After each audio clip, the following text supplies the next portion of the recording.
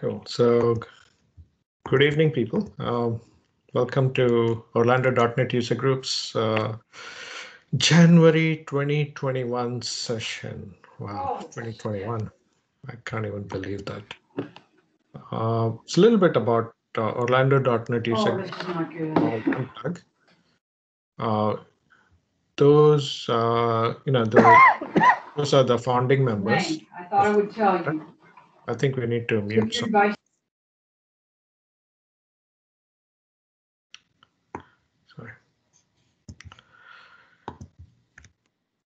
Those are our founding members and uh, members at large who help us. And uh, if you want to follow ONETUG, the best place to do so is on Meetup and Twitter. But we also have a Facebook page and we have a Twitch channel apparently, but um, I kind of have not been up on that one. On on LinkedIn, you can just search for Orlando.NET user group, and you should be able to find that. Uh, upcoming meetings uh, to be determined. Christos, if you know of any uh, speakers who'd be interested in speaking, we'd certainly appreciate your recommendation and welcome the speakers. So you know, just let us know. Uh, we'll uh, I'll be happy to contact them and bring them on. We have a social channel where we can put that information on. So if you want me to put something in there where people can reach out to you, uh, it's usually the the reverse, right? We uh, we put it out there, and then we have CDAs and other people that want to talk that will reach out to you if, that, if you're happy with that. Yeah, absolutely. Yeah, they they can reach out to me on internal teams or something. So that's fine. Uh, so uh, before we get started, I wanted to kind of give people uh, the opportunity to talk about any amazing community announcements or anything like that. Uh, you know, if you have a open source project you would like to plug or any events coming up, definitely uh, there's a raise your hand feature for Teams. Uh, hit that, raise your hand, and we can certainly go in a certain order. And I would say that if you have questions during the talk, use the same feature, hit raise your hand, and then when we get to a decent point, we can stop. There it is, John. Yeah, feel free to come off mute. Sure, might as well uh, throw out there a, a shameless uh, uh, plug. Uh, I'm up here in, in Greater Atlanta. Uh, you know, so and, and Atlanta Code Camp's been a good friend of ours for for many many years now. Um, and we actually have a, a user group as well. Uh, we'll be doing our monthly meetup on the 19th. We meet the third. Azure in the ATL meets the third Tuesday of every month. This month we'll be featuring Josh Carlisle with five Azure services every developer should know. Uh, we just put that up there. I haven't even sent it out to the group. Orlando is hearing it before the Atlanta people are hearing it. Uh, but yeah, everybody's welcome, especially in this virtual day. So uh, yeah, please, we're, we're on Meetup Azure in the ATL and come on over. Likewise, Santosh, I need to start sending my people your way. Ah, I appreciate that. Thank you. Yeah, that's how we survive, right? Uh, by, by helping each other. Awesome. Thank you. Thank you, John. And uh, I have an announcement too. Uh, Orlando Code Camp uh, 2021. the in-person event will not be in person. we might look at doing a virtual event sometime this year, but that is to be determined.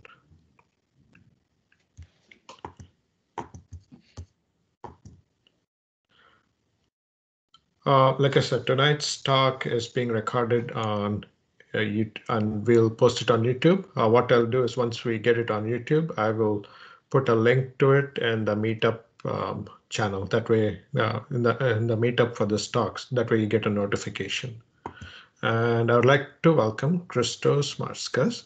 I hope you pronounced your last name correctly. Um, Christos is a software developer, a dad, blogger, husband, speaker, and all-around geek. That's awesome. Uh, he currently works as a developer advocate at Microsoft Identity. Uh, he helps uh, developers and teams leverage the power of identity and cloud. Before joining Microsoft, he was a successful entrepreneur, uh, collaborating on companies such as Mark MarkIT, Lockheed Martin, and Barclays. He's been building software for over 15 years and is a passionate open source advocate. He uh, would certainly love to hear about some of these open source projects, Christos. Um, he regularly contributes to OSS projects and works closely with the developer community to make it bigger, a bigger and better space. Uh, Christos, uh, you know, uh, as you get started, you know, tell us a little bit about yourself. I know that you also used to be a PFE, if I remember correctly. So tell us about yeah. your journey a little bit. Yeah. Um, so I've, I've been in software for about 15, 16 years now. And uh, I've done quite a few things. Uh, I've started as a traditional developer. I did a little bit of uh, IT support and then uh, devoted myself into software development. In 2011, I decided to uh, become a consultant and I was based in Europe back then. So um, I worked for a large number of companies, uh, different projects. That was also the time that I got opportunity to work with things outside the .NET ecosystem, like Node and uh, Java. And uh, just as uh, Node was um, taking me over the dark side, .NET Core came to be, and then I was uh, I was back into the safe space of .NET. Uh, but that doesn't mean that I stopped there. So I continue to play around with different frameworks and languages, especially now that I work as a developer advocate, because I need to understand the pain points of different developers. Like if you're working with Java on our ecosystem, if you're running on Azure and you need to authenticate, then how easy or how hard is it for you? Uh, so it's it's a lot of fun. Uh, I was a PFE for about two years before I moved to the US, two and a half years, which meant that uh, I was working with customers uh, in a consultancy kind of a way, but rather than doing it for three months or a year, uh, a PFE is a consultant for a day, as I would like to explain the role, where you go into one customer, you do something with storage, and the next day you move to another customer and you do something with VMs, and then the next day you touch something totally different. So it was a lot of fun, but a lot of traveling as well, uh, even for the European standards, because I can't even imagine being a PFE in the US. I haven't traveled all over the country. But uh, even in the UK, I had traveled quite a bit, so I got a little bit fed up, and I thought uh, career pivot was the right thing to do.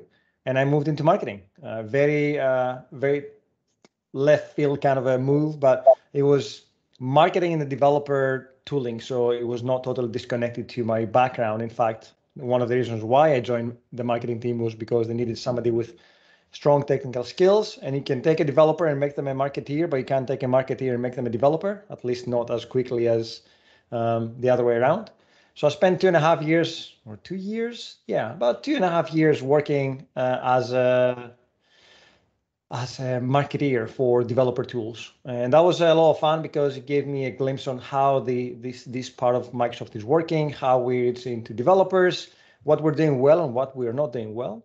And after two years in marketing and not really playing around with code much, I felt that I needed to sharpen my skills my technical skills and I came back into a technical PM role and now working as a developer advocate for identity since last uh, March.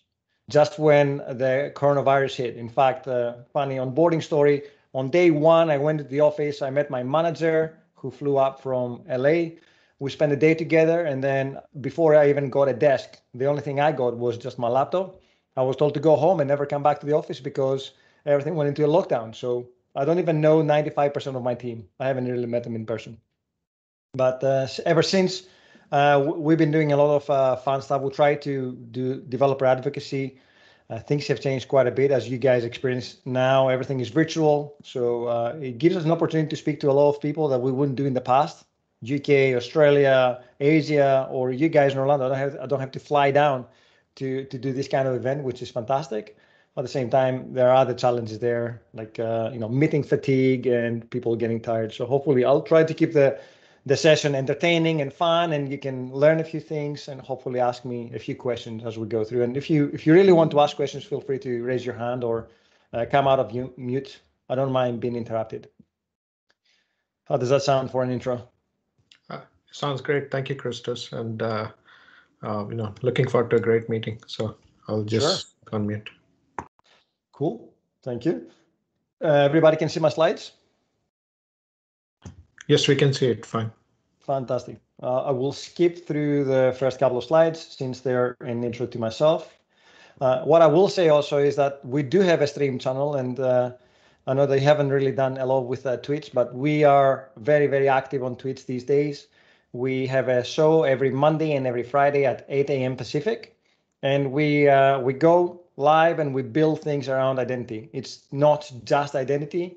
In fact, what we say is the show is a show about identity uh, that uh, is not just about identity. We build end-to-end solutions. So if you have a single page app that needs to uh, speak to Azure or needs to speak to APIs and needs to do that securely, identity is a small element of that. But what developers need to see is the end-to-end solution. If we're just doing identity, it would be a three-month show and we'll be done with it. But uh, we try to bring a lot of guests as well. So if you have built something with identity, if you want to build something and learn live with us, and you don't um, you don't mind doing it live, then reach out to us and we'll build something together. We have a very exciting four or five months ahead of us. We have some really amazing speakers and uh, developers from the community coming to talk about things.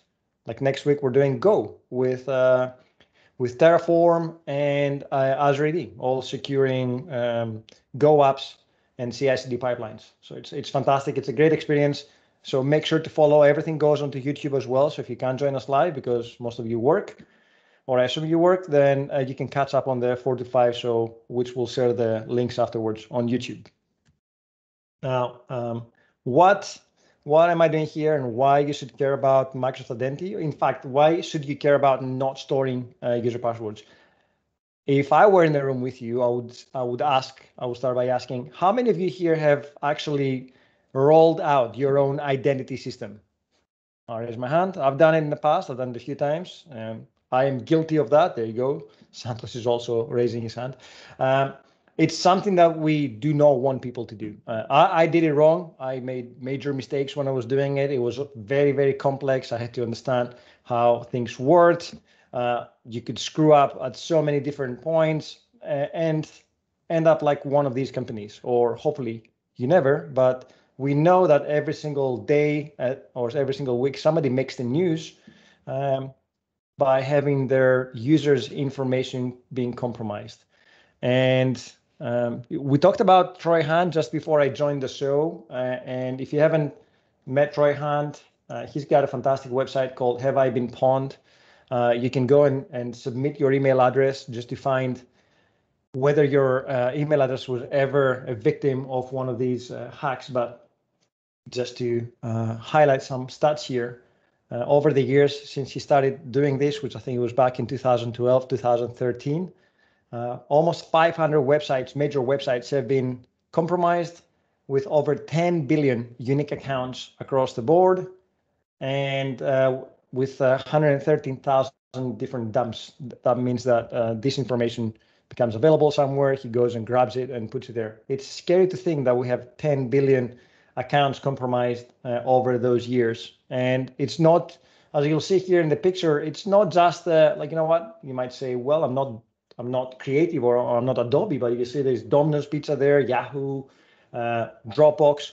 So no matter what you do, no matter what kind of operation you do, what kind of uh, website you're building or solution, as long as it's in the public domain, it will become a target at some point. Uh, some of these uh, sites or anything that you put out there in the public domain uh, is is a fair game. And there are bots that are scanning GitHub every single day for compromised uh, keys, API keys, passwords, secrets, and what have you. So um, just because you don't have a major uh, product doesn't mean that uh, your product is not going to become um, a target. So uh, don't be under that delusion. Uh, so I, I work for Microsoft Identity. Obviously, um, my interest is in pointing people to using delegated authentication with the Microsoft Identity platform. Uh, and the reason why I love our product is because it scales so fantastically. There's a number down there 30 billion daily authenticated users. That's an insane amount of, of people that we authenticate every day. And it's not just the authentication data that we get, it's also the the analysis that goes behind uh, threats and what have you. So some of the free tools that you get is uh, if you are using the identity platform or our identity platform or Azure AD or even uh, Office or whatever, we always do active checks against your account. So if you're logged in from uh, the US and suddenly you see an alert coming from Germany because somebody tried to log in with your uh, username and password, then you get that kind of information. It's in fact quite scary. If you use the My Apps uh, free app, then you can go and check all your Office 365 products and see uh, how many times people are trying to compromise your accounts. Uh, and the nice uh, thing about the the platform is that it doesn't have it don't have to be a one billion user company. You can have three users logging in every day. It will still scale with your product. And you as a developer, you don't have ever ever have to think about how am I going to grow my database? How am I going to uh, manage all these users at the end? We do it for you. And uh, I'm gonna skip the other marketing fluff there. So let's say I've convinced you and now you want to get started, uh, or your manager comes to you and says, Santosh, you need to build a website that needs to authenticate against um, something. I want you to uh, store the users or I want you to manage users and for them to have a profile on the app. Perfect. So uh, one of the first questions you're going to ask yourself as a developer is, do we already have something that does it for me? Do we have an identity provider somewhere? Do we have a database somewhere or a system? Uh, most of the companies um, will either have built something over the years or they might have an identity provider like Azure AD. So you want to reduce the, the amount of research and effort that it takes to build a system like that. How quickly can you get off the ground? Obviously, you want to spend as little time as possible investigating, learning, and integrating with a, an identity platform. Will it support your language? Obviously, if you're building with .NET or uh, .NET is first class, but if you're building with anything else like Java or Node or Python or Ruby, will will it have the right uh, tooling for me? And finally, what do you get out of the box as a developer, right? It's not just the scalability. I mentioned scalability. You get that for free. You don't have to worry about that. But what else do you get? Do you get any libraries? Do you get things like multi-factor authentication, or do you have to roll it out yourself? Do you get conditional access? How can I control access to my solution if uh, if we need to block people from logging in, say, from outside the US or from outside a different region? So uh, these are the things that people usually ask when they come to uh, implementing an identity solution. So Microsoft Identity provides you with a lot of things out of the box for free. Let's talk about cost first, because some people might say, well, how much is it going to cost? If you already have an Azure subscription, or if you already have M365 within your organization, then you already have Azure AD for free. You don't have to pay for that extra. If you, anytime you spin up an Azure AD, uh, sorry, an Azure subscription, you get Azure for free. Now, well, as you grow and as things grow, then you're going to end up with some kind of a, an enterprise agreement with Microsoft. So again, Azure AD tends to be including that.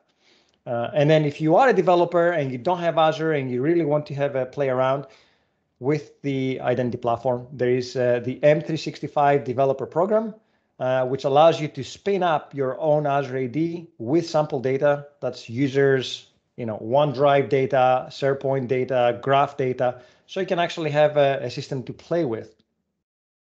Uh, and we give you uh, a lot of things. Like we give you the libraries, so you can start with your own um, platform and framework out of the box. We give you organizational data, as I said. Once you uh, authenticate, then you get access to Azure. You get access to uh, all the uh, other data you might have, like SQL, everything that sits behind the uh, your on-premises environment, and um, everything is available through the Graph API as well. One of the other benefits that you get as a developer is that you don't really have to worry about things uh, like user management. What happens if a user leaves my company uh, and then how do I manage access to my app?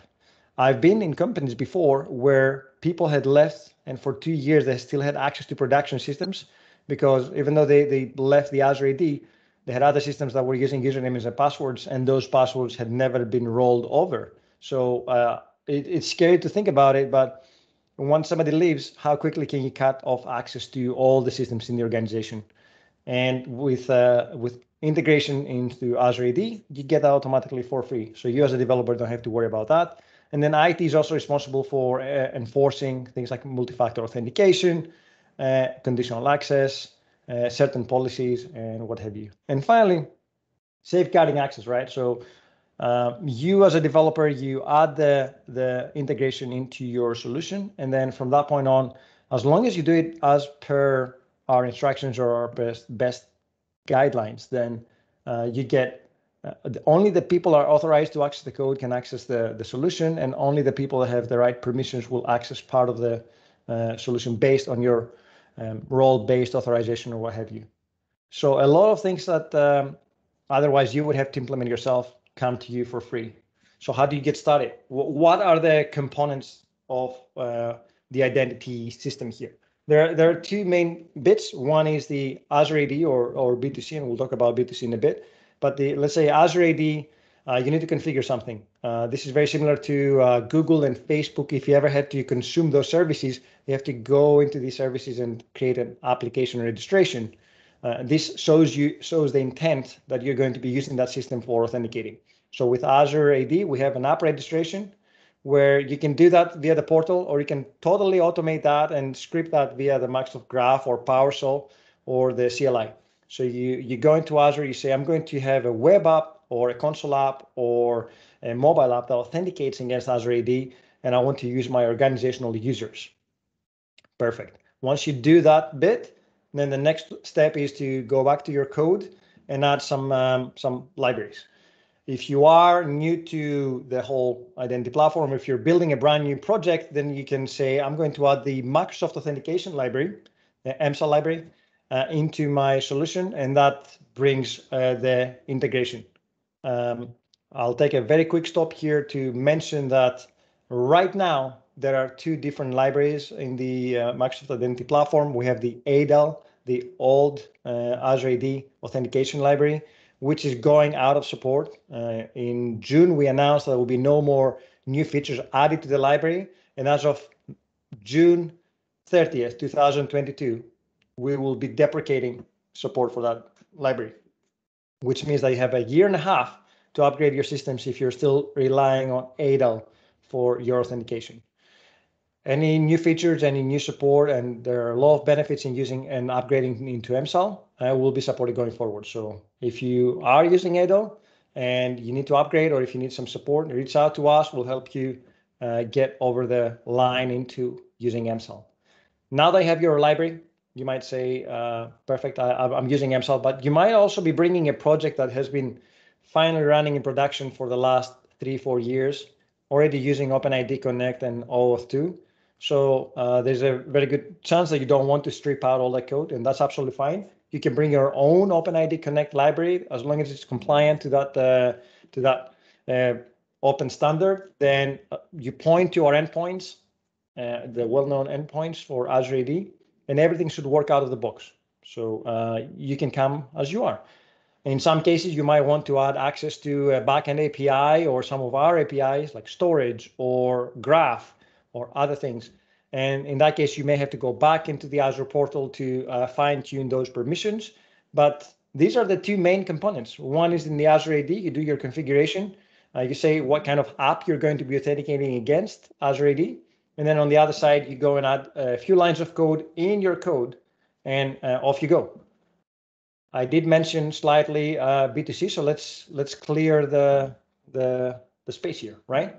So there are two main decisions that you have to make when it comes to, or one decision based on the the true pro, the two products that we have when it comes to authenticating against uh, Azure or against the Microsoft Identity Platform. If you already have organizational users, if you're building a line of business app, then this is Azure AD for you. These are internal users that need to authenticate to an app and pull organizational data across.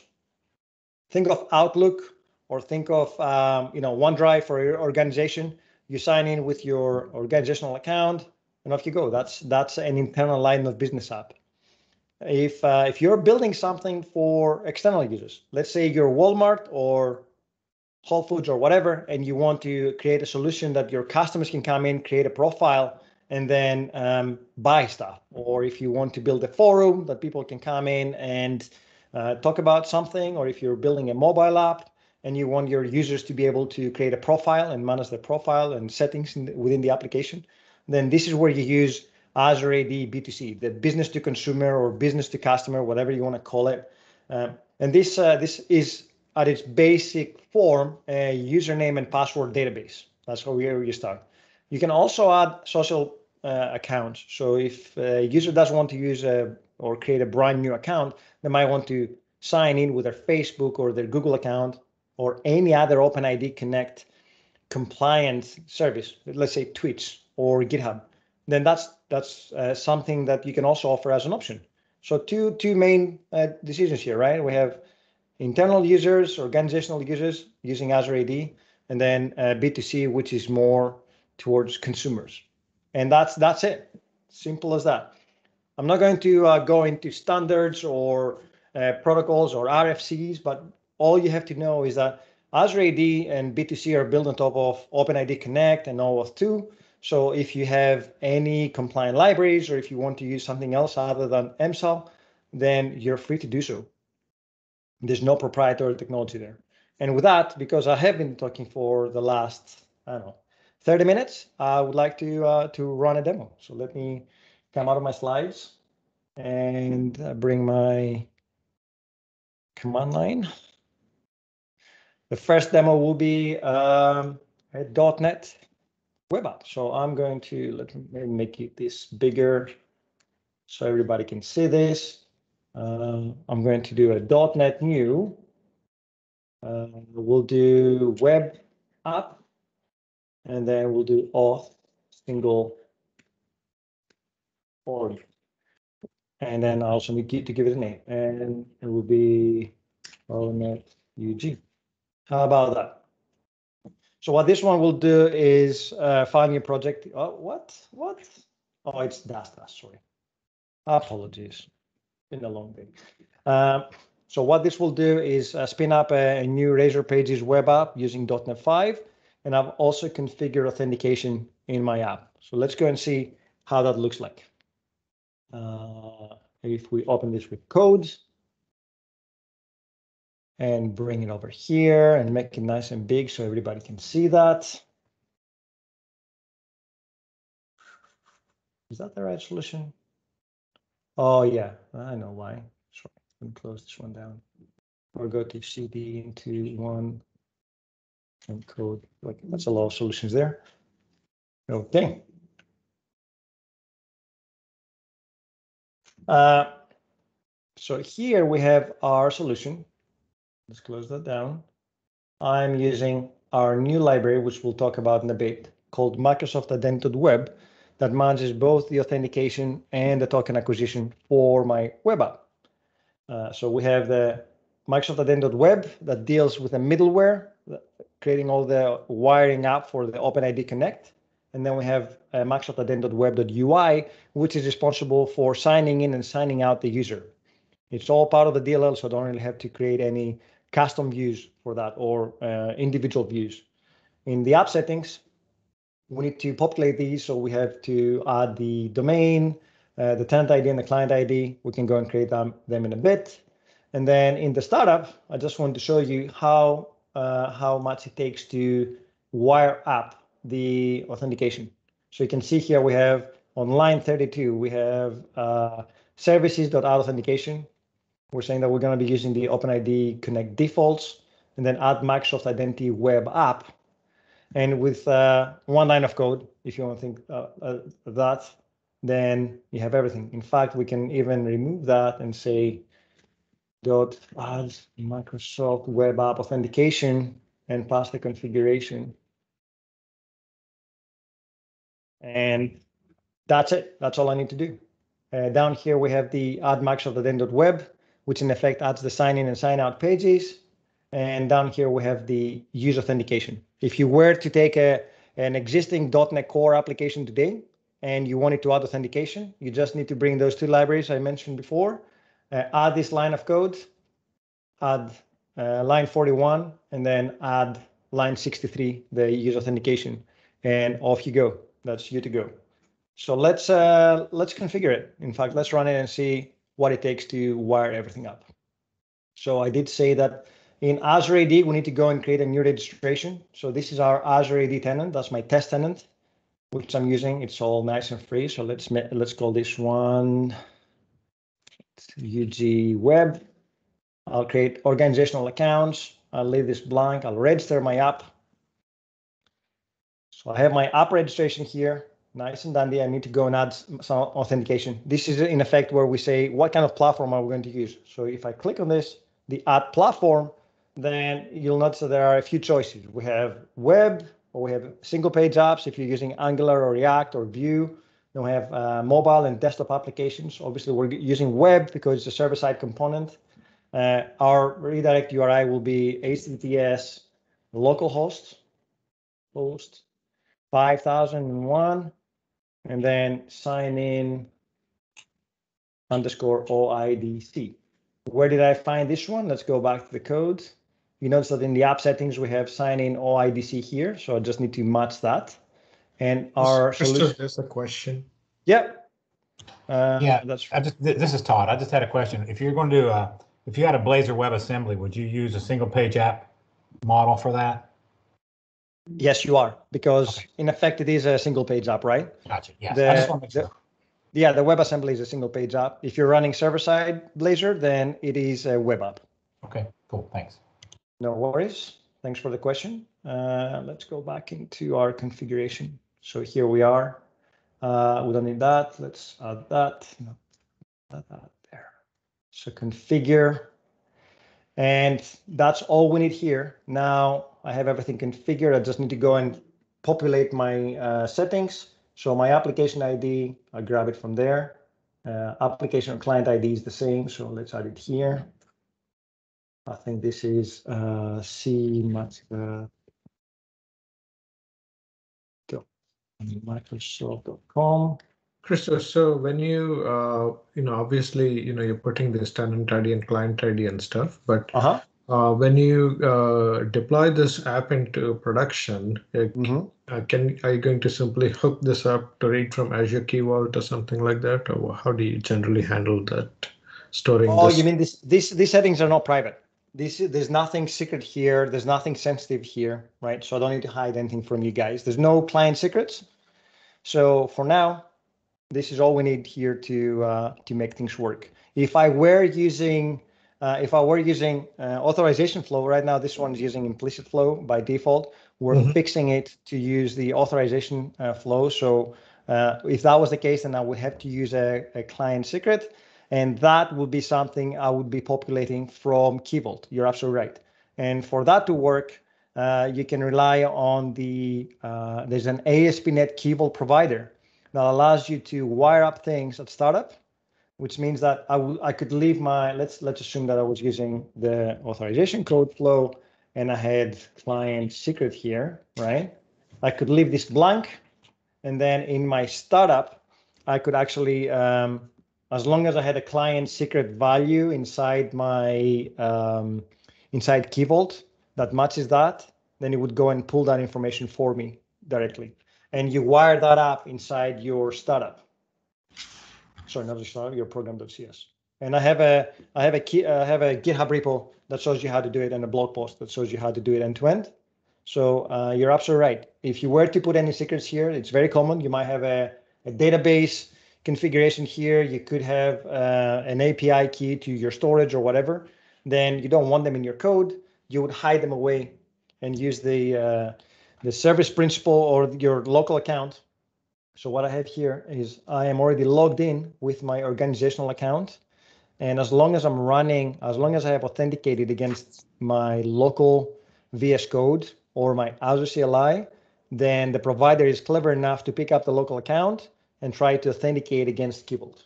So you need to configure Key Vault as well uh, to have to give to that account permissions. Now I'm I'm the owner of both my Azure subscription and my VS Code. So every time I create a, a you know a Key Vault, I already have permissions. But let's say I was to bring you into the project, I will need to give you permissions to do that. Got it. But it's a it's a it's a fantastic experience because you never ever have to worry about secrets. But what we have right here is no secrets, right? Okay, understood. Thank you. No problem. So let's uh, spin up a new terminal. I think I have everything wired correctly. So .NET run. building and running. Okie dokie. Let's open this one now. Oh. Did I screw up my uh, comma somewhere? No, there's no debugging issues. So this should be the right one.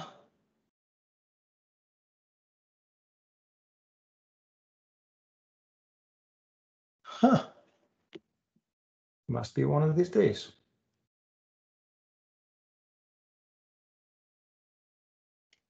So that's fine. That's fine. Haven't run dot on my local machine for a while, so I don't know why this one's complaining, but almost feels like it's dead.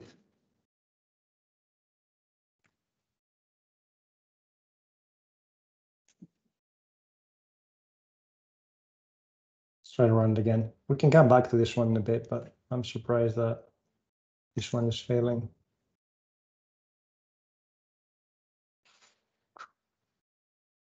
Is it giving any kind of uh, messages in the debug console or anything? Nope. Let's see. No, I don't think. Could be something with uh, that I was messing up with the certificates the other day, but even if that was the case, then it should open the HTTPS. Let's say refresh 401. Ooh, 401 unauthorized. Why? Maybe it's my ah, on Microsoft.com. This should be the one. Let's check very quickly on that one. Make sure that I have the right settings. Uh, where did I configure it? Did I can, yeah, that's the one. Log in on Microsoft.com. Read, and that's my overview.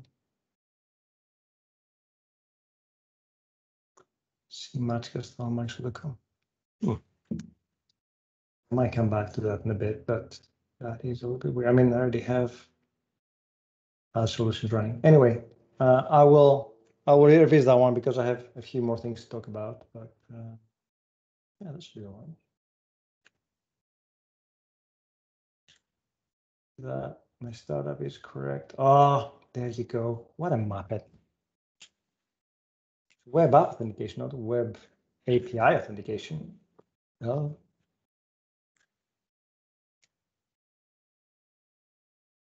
So Yeah. this is good, right? We we now know if we make that mistake, how to fix it. There you go. Right. I was like, it's supposed to be working out of the box. That's a little bit embarrassing. Okay. So I have already, uh, remember I'm using my CMatskas from Microsoft. So that's my test tenant. So I will try to uh, sign in. Uh, it's the first time I'm signing in. So it asks for a consent, uh, whether I want to give a consent to look my profile. And if you want to know why that's coming in, if I go back to my app registrations, am I in the right one? Yeah, I am in the right one. So one at UG, if you go into the API permissions, it's trying to read my uh, profile. The, the default permission is user.read, so it's trying to read my profile. So I will go back into my app and say, yes, I'm more than happy for you to, uh, where's the window? See? Here. Yeah, I will consent. I don't need to consent for my organization, accept. And then with that, the URL specified in the request is not much the reply URL. What did I miss? Uh, sign in isn't it? Okay, let's look at that again. Did I? Ah, yeah, it's, it's a dash. It's not a typo. So many mistakes that we're capturing today. Let's save that one. See, now you know how to troubleshoot. The whole point of the session is troubleshoot. The reply URL is not correct. So if you go back into the app settings, it is dash and not underscore. So that's where I screwed up. Uh, fairly common mistake. So I'm glad everyone's paying attention. So let's try to, Question. yes. It's from, uh, yeah, Tim, go for it. Yep. Okay, uh, I, I think I know the answer because I think it just flashed on the on the last uh, Azure uh, portal page that you're on. But if I wanted to configure my app to be able to run locally and then also um, run on like a QA site within Azure, uh, that's what exactly. So I can add multiple redirect URIs for my app. Yeah, Um, okay, perfect. uh, test.com. The only caveat there is, uh, yeah, it's happy there. You can only do HTTP testing on your local machine. So you can't do That's fine, HTTPS testing, HTTP testing outside your local environment. Everything else has to be HTTPS. Yeah, Which is for, for very good reasons, right? So Yeah. uh, let's leave it at that. So that won't break. So I can have multiple URIs. It doesn't mean that it has to match all of them. As long as one of them matches, then it's okay. So I, you know, I can even go and save that. And then as you can see, I'm already logged in and I can sign out. So these pages are all managed by uh, the built-in uh, configuration inside the DLL. So I don't have to go and roll out my own uh, signing pages. In fact, if we look into the pages under shared, we have a login partial. And what we do here is, in effect, we just say every time I need to click on the login, it will go and um, take me to the signing page. And uh, if I'm already authenticated, then it takes me to the sign-in page. If I'm not authenticated, it will take me to the sign out page and it will display my name. So it's it's all done for me by the, the system. So I don't have to, you know, create custom pages here, which is great. And it will do the two-factor authentication if I already configure that. It will do all the things that I need to out of the box, right? Um, you saw what the configuration would have been for an API. It's exactly the same. But let's say my app was calling into things like uh, an API that, uh, you know, I need to sign in my user and then call another API. How would you configure that? And I know that that has brought shivers in the past on developers every time they have to think about it. So we did actually make it very simple. So here I can say dot enable token acquisition for downstream API. Uh, I don't have to provide any scopes. I can leave it as default. And then because we're going to be calling an, a downstream API, we also want to add a cache so we don't have to go and get the access token every single time that we need to do a call to the downstream API or APIs. So uh, I can say I want to add an in-memory token cache or a session token cache or even a distributed token cache. So there you go. And I don't know if you saw this flashing as well, but there is uh, the ability to register a downstream API. So if you have a service that calls that API, you can register it here and then, oh, sorry, and then every time, that was not the right one. And every time you need to call that API, that service that calls into an API, we will add the authorization header automatically for you. So we inject the header and we make an authenticated call to the downstream API without having to uh, think about it twice. So it's a fantastic way to inject services and into the authentication process and uh, make them available to your um, controllers or your code further down the line. That's what four lines of code, right? So I didn't have to write any code for that. Uh, it usually takes more code, more configuration rather than code to get this end-to-end solution. Uh, so uh, this is one of the demos. We'll move into other demos in a little bit. So let's go back into the slides. Oh, that's wrong slide. this one. This is probably one of my favorite slides because we do say come as you are and we make a, a funny reference to nirvana if you grew up with nirvana but uh, this slide has doesn't have a single microsoft technology. In fact we're more than happy to work with all the services and we do work with all the services. Right now we're working with the IntelliJ team to add support for uh, azure ad inside the ide we've already done it with uh, rider the rider team has added uh, Azure AD integration. So when you do file new project in Rider, you can get that nicely integrated as you do with Visual Studio. Visual Studio Code will follow as well. We're happy for you to run your services anywhere. AWS, I did already mention you can have services or servers running on AWS authenticating against Azure AD. And if you use Arc and manage those VMs or those machines in the remote uh, data centers, you also get managed identity, another extra benefit. DigitalOcean or whatever, any language. Uh, we don't really want you to just use .NET. Obviously, if you're using .NET, you get all these uh, extra benefits. But if you're not, if you're using Node or uh, Python or Ruby, again, you get libraries and support for these languages as well. And finally, whether you're running serverless, Kubernetes on premises, we support you uh, along the way. So fully end-to-end. But if you are using first-party services, if you are using .NET with uh, our services, then you get additional benefits. GitHub integration with uh, managed identities as service principals allow you to deploy uh, code and infrastructure without using any secrets, all, all handled for you by your um, GitHub Actions. Visual Studio and Visual Studio Code integrate with Azure, and if you're logged into the services, you automatically get access to the services in Azure via managed identity. Uh, you can pull easily data from Teams, SharePoint, Exchange, and everything else that sits behind the uh, 200 different API surfaces that we expose via the graph. Uh, you can run anywhere you want, so we support uh, identity and uh, quite a few things out of the box inside uh, services like functions and app service where you get easy auth with Azure AD. And then in Kubernetes, you get managed identities and service principals supported. And finally, we're working on making the story for the Power Apps or Fusion developers uh, a lot easier. So you can have a Power App that calls into Graph via the Azure AD connectors, or you can have a Power App calling into an API, all authenticating end to end with um, the Microsoft Identity Platform. So a lot more secure, a lot more robust. And if you think about it, we're probably the only provider out there or the only company out there that really cares about the developer story, the production story, the IT story, the DevOps story, everything. And everything is covered end to end. So as long as you set up your Azure AD correctly, then that whole story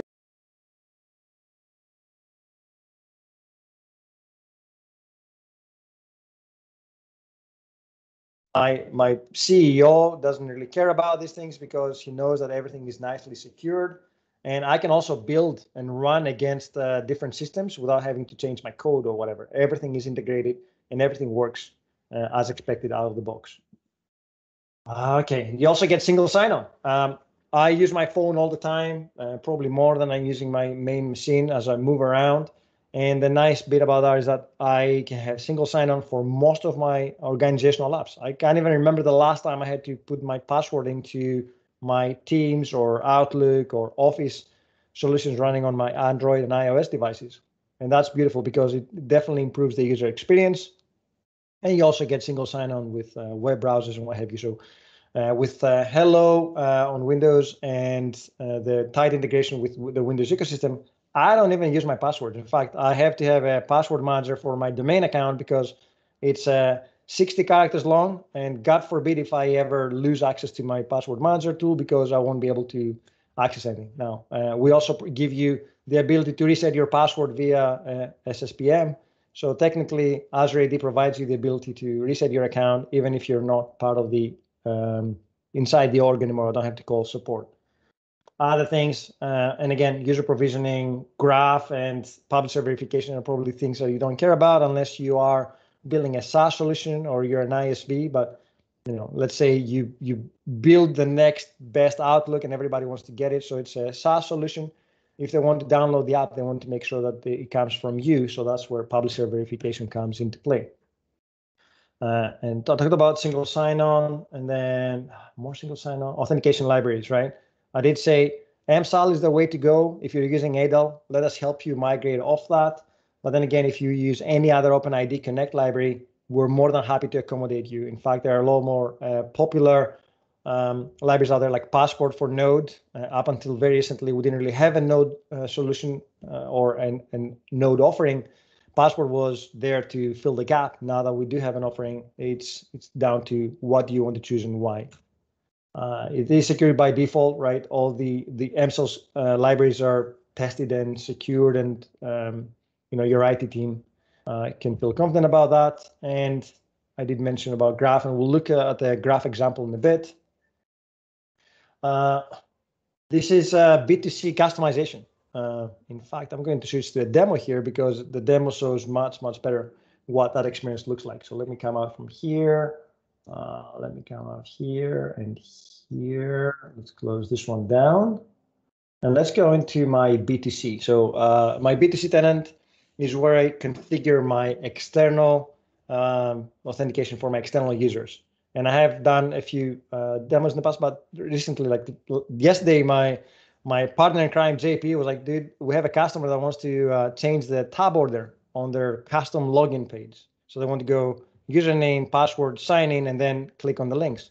Can we change it for them? I was like, yeah, absolutely. I mean, we, are not going to change the product until and we gave them a stopgap solution. So um, you can fully customize the experience to make it look and feel like a proper proper uh, solution. So uh, I can't remember if it's this one. This is not the one. Let's see. Let's run the this example. Is this one? So this is the vanilla. This is what you get out of the box, which is not too ugly. But then again, it doesn't look like my app. And if I wanted to look like my app, then eh, why would I want to do that? Because my customers are logging into my website or, or they're coming into my website, they see the, the landing page and then they go into the login page, which is totally different. And it, it, it doesn't really break anything, but it, it's not the best user experience or on your phone or something else. So a lot of our customers want to customize that experience. And uh, It's fully customizable, obviously. There are some rules that you need to follow when it comes to that. But if I switch to a different flow, uh, let's go back into my flows here. Was it this one I was playing with? Let's look at the properties. I think that's the one. If I go into my page layouts, there you have it. So what we have here is uh, I'm using a custom page. I said that. I put a page into storage. Um, it's publicly available, so it's privately available, but only available to my um, my Azure AD B2C tenant. And I have also configured the course policy, so only Azure AD B2C can access this. And you can you can have multiple versions. So you can change the versions here, and you'll notice that up here it says unified sign in and sign in, uh, sign in and sign up page is different because it's custom. So if I were to run this flow, and I come here, boom, that's a fully customizable page. I'm not the best designer, so please don't judge me.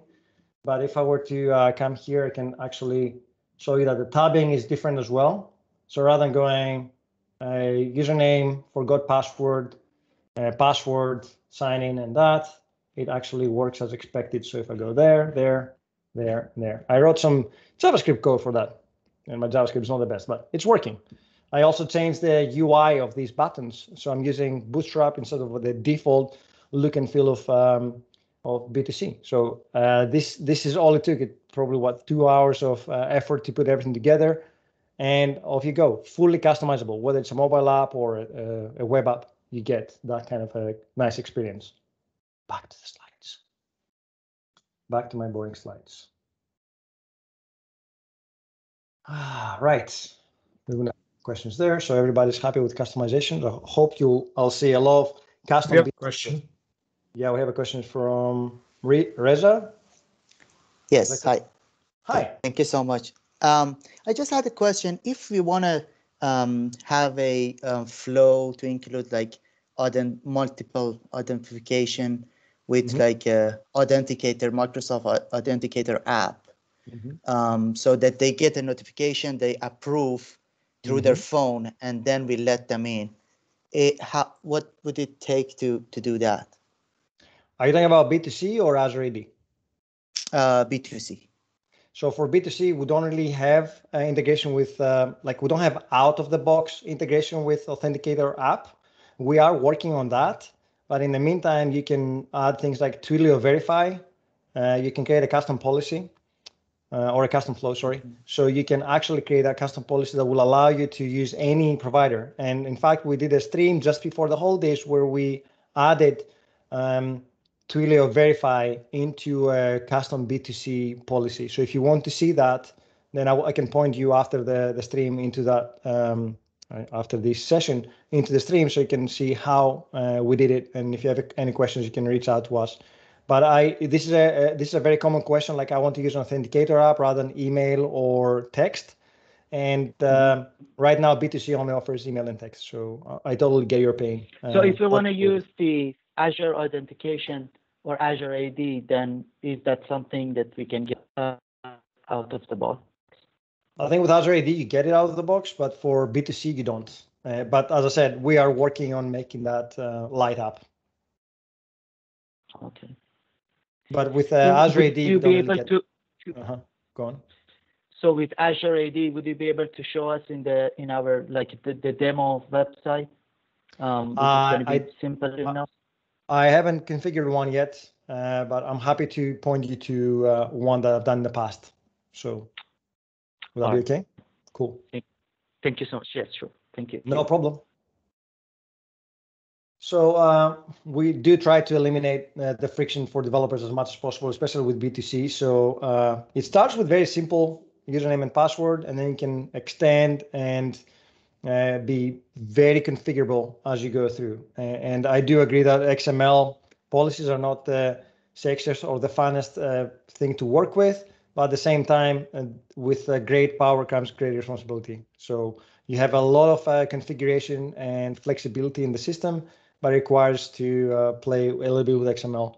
And we're always here to help if you need to have some very custom uh, design and policies, which a lot of our customers are doing. So next one.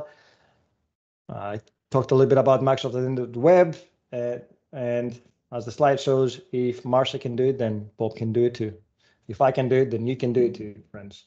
Um, sometimes people ask where does Microsoft Identity Web sit when it comes to uh, MSAL and why do I need to use that uh, over MSAL?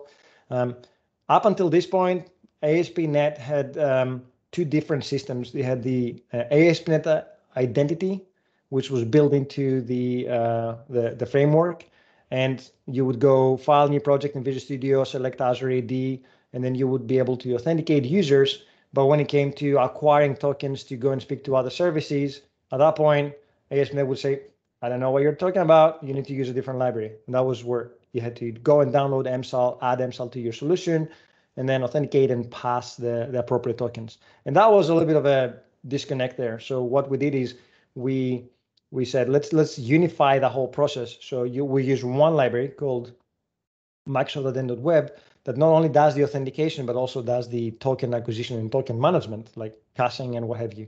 So Microsoft Identity Web is is sitting on top of MSAL. That hasn't replaced MSAL, but it still relies on MSAL behind the scenes to do uh, both things for you. And then um, if you if you're not working with ASP.NET Core 3.1 or 5, and you're in previous versions like ASP.NET Core or ASP.NET with uh, the full framework, then you can fall back into the full MSAL.NET uh, and also MSAL for Java or JavaScript, Python, iOS, single page apps, and Go and what have you. So we provide you that. And um, if you don't want to work with any of our MSAL libraries, you can also bring your own OpenID Connect, as I mentioned earlier on. Any compatible library will work. I'm not going to spend too much time in like what was different, what's different now. You saw that it took like a, li a line of code to implement everything. Uh, but if you still want to tap into the underlying piping or uh, the underlying middleware of OpenID Connect or want to um, use the JWT Bearer authentication libraries to go and in, investigate or do things or tap into OIDC Connect uh, events, then you have the capability of still doing that. So these libraries are still available to you, even though you're still using Microsoft Identity Web. So it doesn't mean that we eliminated all these in favor of the, the super simple stuff. You still have all the, the pipelining available to you after the fact. So all had a lot of, uh, a lot of uh, need to understand how OpenID Connect worked, a lot of uh, need to understand how OAuth 2 worked, whereas now uh, we give that all that to you for free. And if you want to add more or um, make things more complex, then you can do so. Um, Graph, I don't know how many of you here have had a chance to play with Graph, but um, it's it's a fantastic API, especially for organizational um, data. I don't know if you ever had to upload a document into OneDrive programmatically, but that was a pain because OneDrive had its own SDK, had its own login uh, on top of that, so you had to authenticate, and then it was such a mess. Now with um, Microsoft Graph, everything is super simple. Everything that is available to your organization is available to you as a developer as well to bring some um, rich interactive experiences for your users. And the best example I can always give is if you are using Outlook today, then every time you go to the to to send a new email, uh, what Outlook will do behind the scenes is uh, a graph call into uh, an API endpoint to go and pick up the the most recent or the most uh, popular people that you work with most of the time. So it tries to be clever and say, well, Chris, you're always working with JP, so I will put him at the top, and then I'll put Todd because he's your manager, and that's the probably the second most popular person, and then Hannah, what have you. So um, it optimizes the experience for me, well, rather than me having to go and look into the GAL and trying to find the email address and resolve it and hover over the person and see if they're uh, active or not or on holiday. It pulls that information for me and it makes it available. So I love Graph because it can really create some very powerful solutions and it can extend to SharePoint and any data that you have inside the organization, CRM, Beanstalk, and uh, on and on and on. And you can build some uh, powerful experience, whether it's uh, automation tasks, whether you're doing uh, Jupyter notebooks, whether you're doing uh, HoloLens solutions, it's all available to you via the Graph API that it becomes the connective tissue of all the disparate data and solutions you have in the organization. And it's very important to know that it is organizational data because sometimes people say, well, I, have already authenticated my user with B2C, how do I get access to their graph data? Obviously, an external user will not have any organizational data whatsoever, and B2C does not have a notion of organizational data. So uh, there is no graph API for B2C users. So just make this clear. There is a graph uh, API for managing your B2C tenant, but not for the underlying data. So uh, just to make sure that uh, people don't get confused there. And it's all uh, managed by the identity. So if you haven't seen uh, Microsoft Graph in action, let's jump very quickly into a demo. So uh, ak.ms.ge Graph Explorer. I don't know which account it will pick by default. Let's see. Oh, it picked up my Microsoft one. Interesting. Right. Uh, this is one way to start working with Graph. So let's say you're building a solution, but you don't really know what you're going to be asking for. So you want to like go and do some uh, exploratory work here. And the Graph Explorer is fantastic because it has most of the popular APIs. I did say it has 200 APIs, so not everything is here. But let's say, uh, did anybody here watch the the build event, this uh, the Microsoft Build event this uh, this year? They may have got a glimpse of uh, Scott Hanselman demoing a solution uh, where he was managing his lights in the room uh, based on his team's presence. So um, if their kids wanted to come into the room and didn't know whether he was busy or not, the lighting in the room and outside the room would reflect his status on team. So if he was in a meeting, the kids knew not to come in. And that's all easily managed by Graph API and a couple of Azure functions that, you know, uh, listen to events and then relay that back into the IoT lights that he had. And if I remember correctly, that's part of the uh, the presence. Is it under here? No, I think it's under uh, presence, which may not be here or exposed. But the one I was uh, talking earlier on is people I work with. So if you notice, I, I just goes me people up here. I mean, make this bigger so everybody can see this. And it says me people, which is great. And now I can um, I can run the query. It will go and find the people I work with. I did say JP is my most popular um, person I work with. There's also a beta uh, endpoint. This is where we, this is an evergreen or everlasting beta point where we do all the experimentation with our data. And then when people say, well, this makes so much sense that it needs to become part of the GA solution or the, the mainstream one, we move it to the V1. So if you want to experiment with new solutions, you can come here and run the beta. Now, uh, usually that returns a lot more data. So if I were to say, uh, let's get my information so we don't expose some other person's information. If I use my V1, there's a, there's a small subset of data that comes back, but if I use the beta endpoint, you'll notice that there's a lot more information that comes back uh, all the way down here. So you can experiment with things, and then if you go into the documentation, you find an API that you want to come and test, you can say uh, me dot uh, messages or calendar This is all the email I have here. Now that's my Microsoft email, so I'm not going to show that, but I could use a different account. Uh, you can see that I can play with. In fact, you can also do selects. So you can use OData to uh, select some data. The other thing I really like about this, and let me zoom out because we might not be able to see that, is the code snippets. And let's change that to be me again. So how would I do code snippets? Interesting, it doesn't work. Ah, you know what? It's because the beta. If I go to the mainstream one, what? C sharp. Is my code snippet broken? I got the cards. Huh. Interesting. Why is it not working? Let's see people I work with. I think this is broken because it usually returns back with the code snippet that you need to use to get that information across. Huh, it's one of these days. And then you have the toolkit components, which are, uh, there's a graph toolkit for your front end that you can use to easily add functionality into your front end. And it includes authentication and everything else, all included there. But I'm really disappointed with my code snippets now. Why? What's wrong? My profile. I think. Let me let me sign out from here. Uh, sign out. Okay. Uh, aka.ms.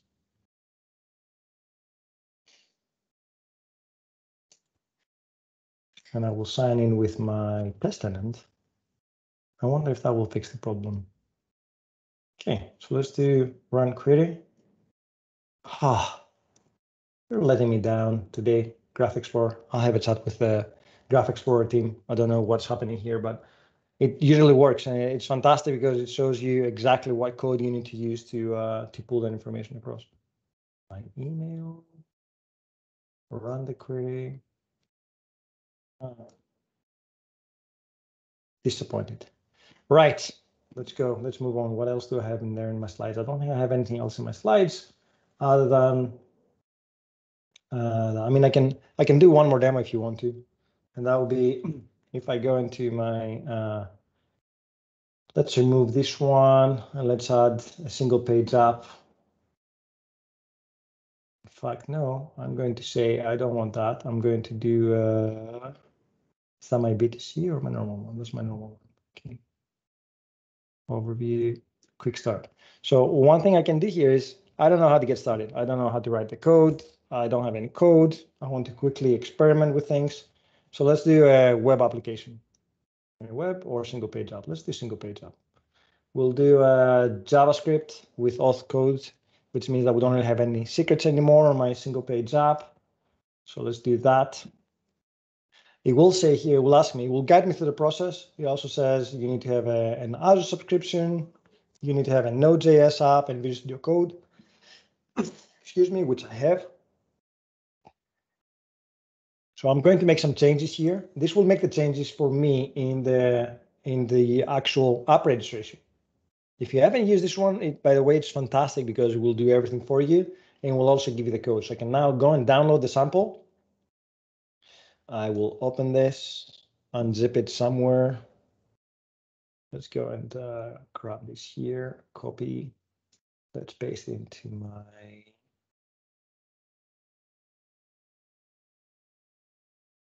somewhere here. I've got projects, it there. Right, done. Let me open this in command line.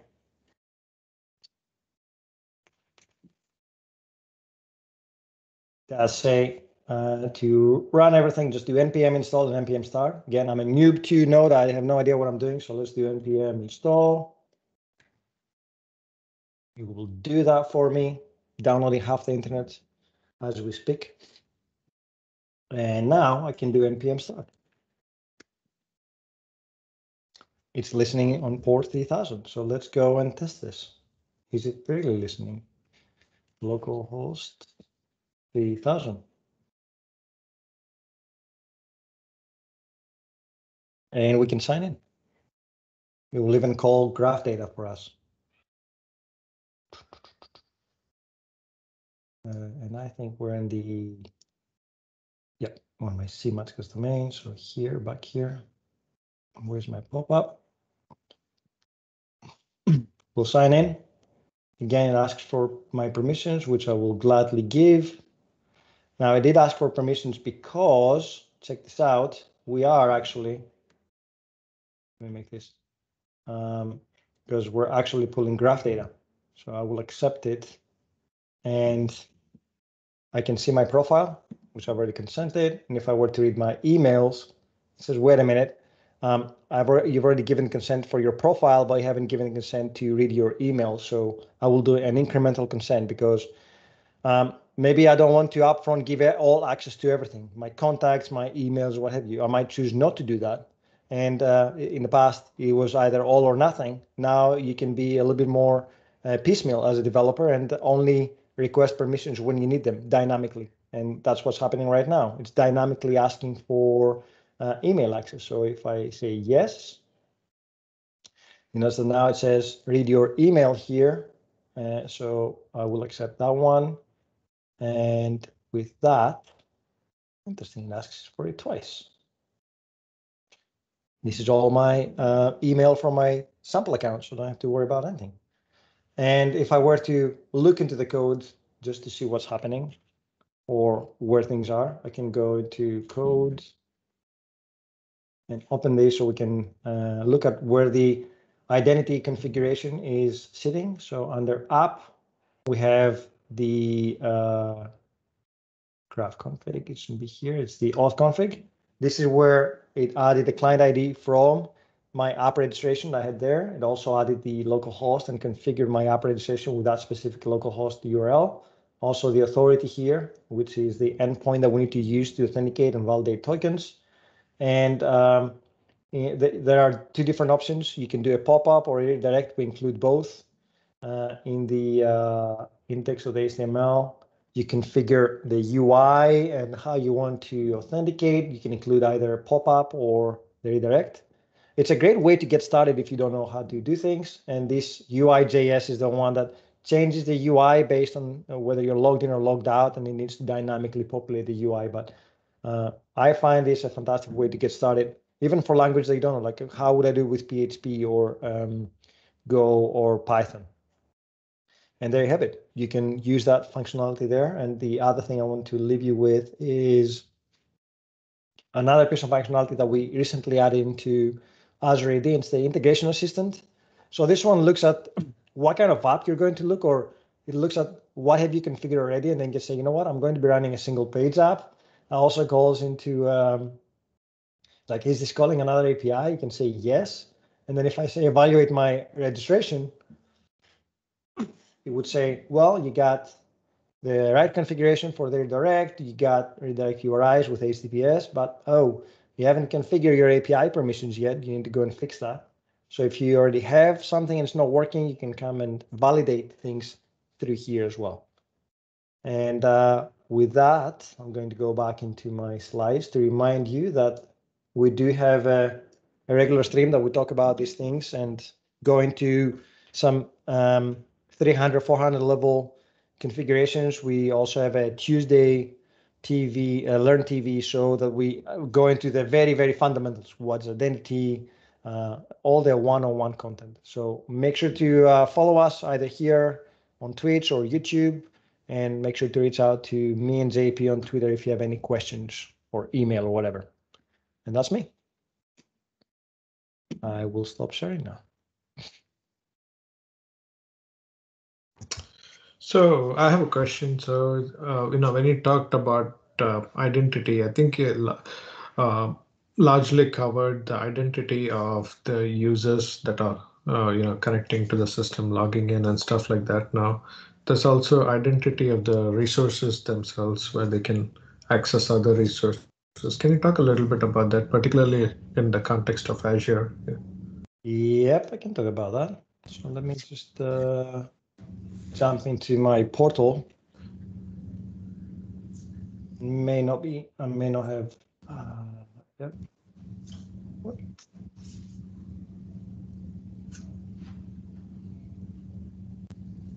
Yeah, that's not the right one.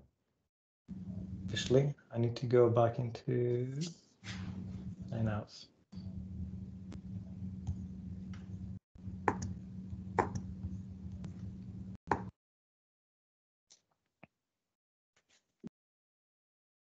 So as as we mentioned before, there is this notion of a managed identity, and that's something that allows us to communicate with other services on Azure without really having to configure certain things. So imagine if I had a web app that needs to speak into Key Vault and uh, do that securely without me having to expose the Key Vault keys. So if I were to go into here, into my Key Vault, which I think it's already configured, Uh, are you sharing the screen?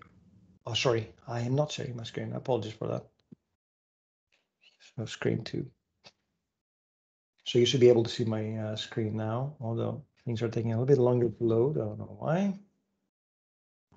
Yeah, I can see your screen. Cool. My Key Vault is uh, being defiant now. Huh. Let's go back into the portal is frozen.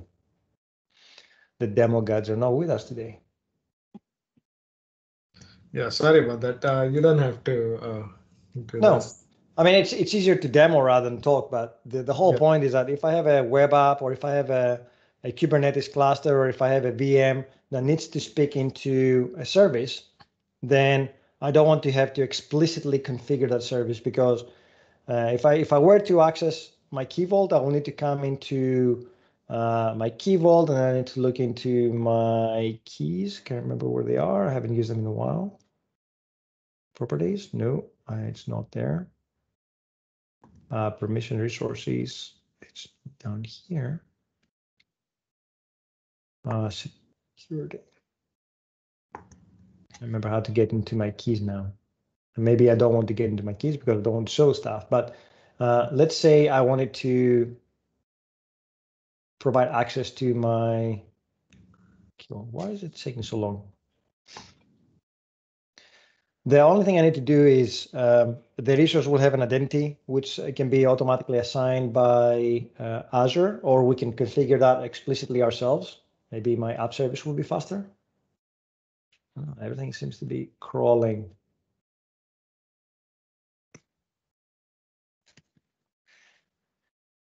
And there are two different um, managed identities. One is the system assigned one uh, that lives with the service. So an app service can have a managed identity that is system assigned.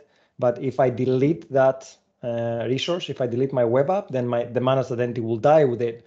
And there's the user assigned one where I explicitly go and configure uh, an identity and I assign it to one or multiple resources.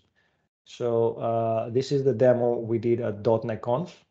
And here, if we go under identity, uh, you know, so there's uh, it is on and there's a system assigned one, and that's my object ID. In effect, this one is saying, what can I do with my mouse identity? And if I go into role resources, it doesn't have any roles.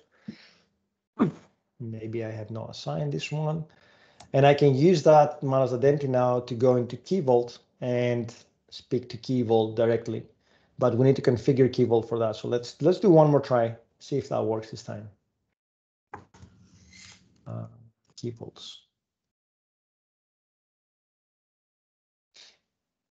So here, access policies. Aha, quite a few of them there. Uh, I've I've used this a few times. So uh, there is an access policy for quite a few managed identities. You can see there's only two selected, and I'll tell you why. Because for that managed identity, I said, I only want to be able to, ah, that half things are not loading here. It's not a good day. Oh, there you go. Interesting. Wonder if it's because I'm zoomed in. No, it's literally broken. Huh. So when you come here, you can say, I want to assign a, a, a new uh, a new identity.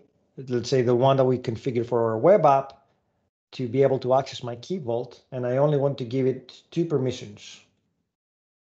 It's not even working there. I think the whole page broken.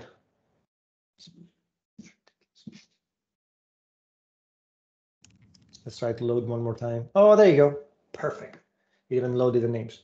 So you'll notice that here as uh, cm.netconf demo, which is the one we're running at uh, .NETConf. And we have a specific uh, managed identity that only has two permissions. One is a list and one's a get. We need a list so that uh, the web app can actually list all the secrets and then a get to be able to go and retrieve the specific secret. And with that permission, I don't have to set anything else. My web app will be able to come into my key vault and pull the, the appropriate secrets. I think I have a few secrets here. Um, we have a SQL uh, administrator login and SQL administrator password, which I'm using in my web app to go and um, authenticate against my Key Vault. I also have a config value that gets populated from Key Vault as the .NET Core app bootstraps. Now it can be a web app calling into SQL. It can be a web app calling into an API. Like let's say I had Azure Functions, then I can also um, create a secure uh, connectivity between the web app and my APIs in uh, in Azure Functions using managed identity. So it's not just external services; it's also for my own services that I can use.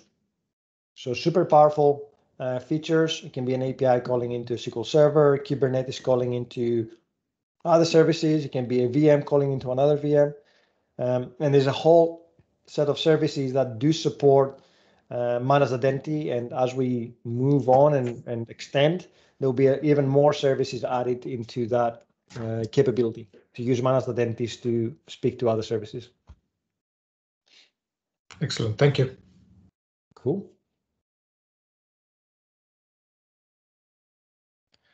Do we have any other questions or um, I know that somebody mentioned uh, single sign-on for Azure AD, and I'll be pointing you to that later on uh, just to show you how it's configured end-to-end.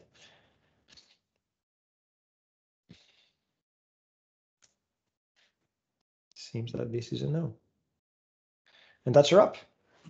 Again, you can you can always follow me on Twitter if you if you have questions or if you get stuck with anything. Uh, in fact, the other day I had somebody saying, "How do I do Azure functions with Easy Auth, calling them from a console app?" Uh, so you know all these different scenarios that um, people are trying to configure with Mars Identity and and Microsoft Identity Platform. I have a I have a quick question. Well, maybe not so quick, but complicated question for you, Sure. if you don't mind. Uh, I, I've got a multi-tenanted app um, where each tenant is basically gets their own subdomain off of our um, our main URL. Um, we currently use Identity Server to kind of broker the um, authentication. So we support um, either your Office 365 Azure AD account or G Suite, primarily are the two that uh, that we integrate with. Um, but what we're allowed or able to do is based upon the the first request coming into the subdomain, we kind of do some subdomain home realm sort of discovery and say, okay, based upon you being Acme, we Mhm. know that your preferred identity provider is G Suite. So we're going to route your uh, your login request out to Identity Server and give Identity Server a hint saying, hey, Yeah. route them to G Suite to Yeah. you know to authenticate. They come back in and we get all the the goodness and look them up for their their roles within our application and, and life is great. Is Mhm. there a way that I can simulate or, or replace the identity server bit using Azure AD B2C to kind of basically just rip out identity server and just replace it with that and sort of simplify my life a little bit? You should be, although that would be a complicated setup with custom policies. It's doable as long as you're willing to take the hit. And it will be a one-off hit, but um, yes, that will be the, the closest way to replicate what what you have with Identity Server. And don't get me wrong, I mean, Identity Server was fantastic for certain things like that, whereas we don't really have a, a very simple solution out of the box. But uh, reach out to me, um, reach out to me uh, over email and I'll route you to the right team to help you out if you're uh, serious about doing that migration. Yeah, absolutely. I, I love identity server, but it is it, there's nothing simple about it either. So it's uh you know you you, you spend a lot of time getting it working and then uh, you, know, you forget Yep. half the half the configuration. But Absolutely, there are pros and cons with uh, all the tools, right? I'm not saying that our Yeah, platform absolutely. is perfect. In fact, it's there. There's still ongoing work on making things easier and better for developers. So uh, the whole point is getting your feedback and making it better. But reach out to me. We'll be more than happy to help you. I can send our uh, B2C team to uh, have a discussion with you. okay, okay, awesome, appreciate it. Cool.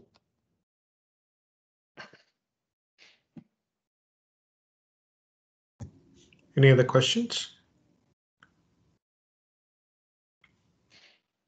All right, excellent. So where can we uh, find uh, all the uh, you know code samples and everything? Is that on your GitHub page? We do have a GitHub um, repo. Just let me find the information for you and add it here. Uh, I will put all the contact information in one go rather than doing it individually. Damn, my machine is scrolling today. What's happening? Okay. It's 2021. Yeah. I know everything is uh, everything is not working well. You ran Oh. npm install. It's still taking a, a while. I, I did, I did. Maybe maybe I shouldn't in retrospect. No, I love Node. It's it's it's uh it has its pros and cons. So let me just add that and then GitHub.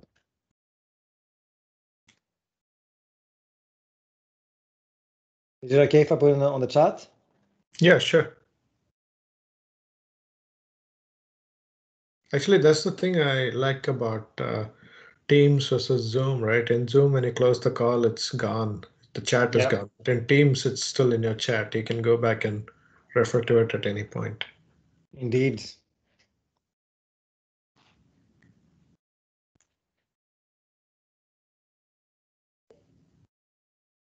There you go. All of that.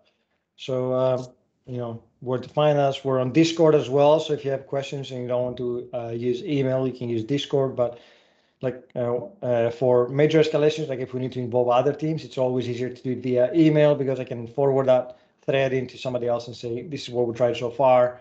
Um, let's help out this uh, customer or this developer.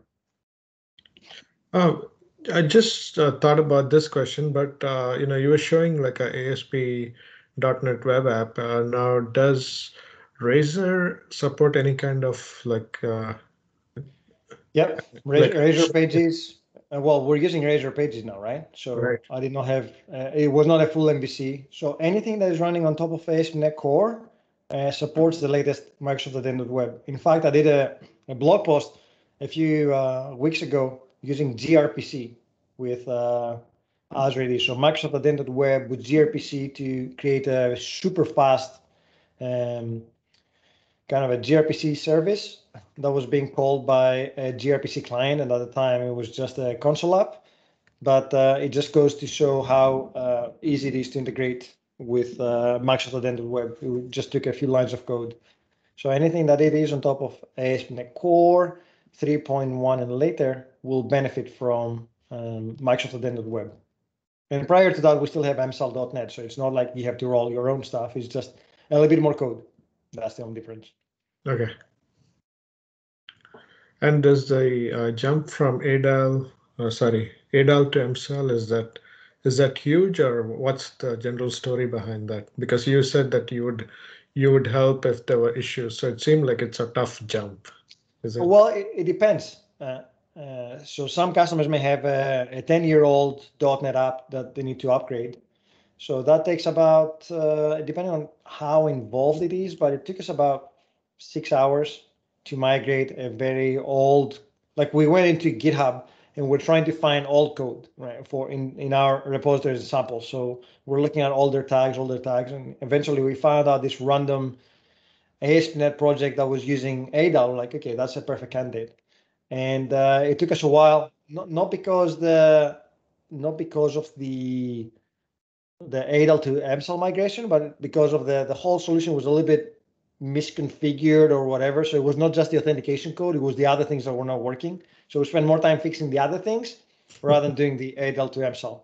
But let's say you're using uh, for JS or whatever, or um, older libraries, then uh, it might be, depending on what you're doing, it might be more or less work, but I would say it's, it's half a day's wor- worth of effort to migrate. Uh, and again, if you get stuck, we can help you. Now, where you can see incredible benefits is if you're going from a an old, say, old, let's say an a 10 year old ASP.NET app into ASP.NET Core 5, where you not only migrate the, the, the framework, but you're also migrating the authentication, then you can really cut down on the amount of code that you have to integrate. So let's say ASP.NET MVC 2 to ASP.NET Core MVC with .NET 5, it's gonna be uh, night and day. I had a project on GitHub from three years ago when I did a sample for a customer when I was a PFE. And uh, apparently I left my client secret in the GitHub repo. So Microsoft IT scanned the, our repos and they reached out to me and said, well, uh, Mr. Christos, you left a secret over there. So that uh, repo needs to be cleared out and, and um, remove any issues. Now, luckily I had removed the secret way uh, far in the past. So that secret was not really used anywhere. In fact, that whole operating station was gone. But I was super curious. I was like, that's a three-year-old code with uh, a significant amount of. Uh, uh, I blogged about it the other day. Like I had a lot of authentication code. I had custom views. I had admin pages. I was like, how how much effort is it going to be for me to migrate it to .NET 5 and upgrade the authentication? Um, and I spent less than an hour doing the whole thing. Hmm. Because I was just ripping out code, right? It was like remove views, remove remove custom OIDC provider, remove X, and then I went into startup.cs. I added one line of code, and authentication was working. I was like, damn, that Wow. was nice. Um, Did- Do you have like a video of doing that or something, or did you?